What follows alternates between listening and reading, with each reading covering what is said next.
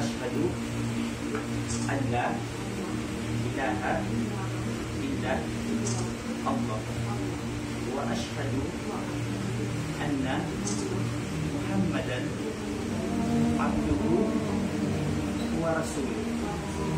Wa asyhadu anna Isa ibnu Maryam abduhu wa rasuluh. Wa asyhadu أن النار حق وأشهد أن الجنة حق Ayan. So, ngayon, itagalog na yan po natin. Um, ako'y sumasaksi Ako'y sumasaksi na walang dapat sambahin na walang dapat sinabi maliban sa ng isang tagapasika maliban sa isang tagapagligtas. na si Allah. Ako'y sumasaksi. Na si Muhammad. Ay kanyang sugo at alipin. at ako'y sumasaksi.